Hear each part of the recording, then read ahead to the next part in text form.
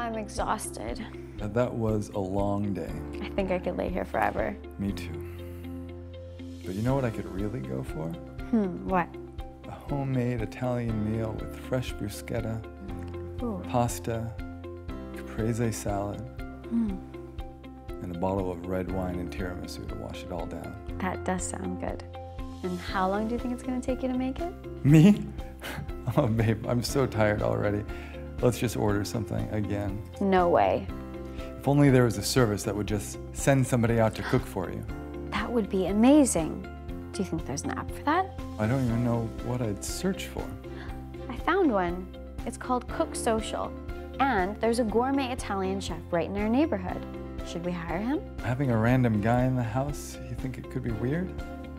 Well, it says here that every chef is certified for health and safety, and they go through a rigorous identity check. Plus, he comes with everything ready to cook, so it's super fast and efficient.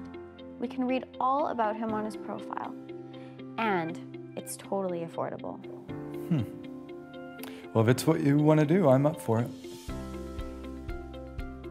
Ordering now.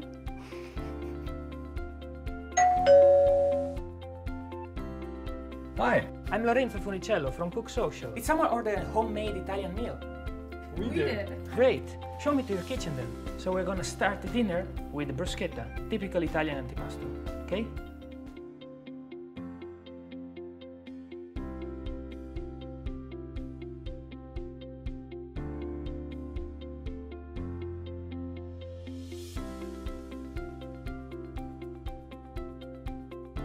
Do you miss Italy? Well, don't get me wrong, I love it here, but there are just some things that are different. In Italy, for example, in my family, it's not one person job to prepare the meal. Everybody's contributing in their own specific way. My father and my brother are cooking something simple like spaghetti, for example, very differently than my mother does and than I do. And if you put a blindfold on me for a test, I'm certain that I can 100% get each and every one of their dishes just right away. Because you know, for us, it's not just about eating, it's about sharing with friends and family part of our culture and our love for the cooking and the eating process, all in all.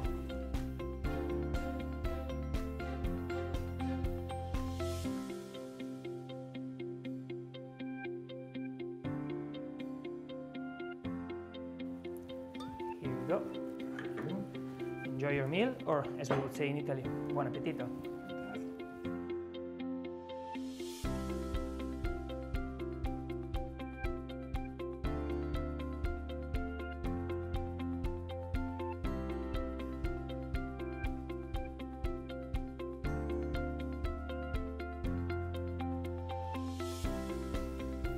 Stay in and eat out tonight with Cook Social.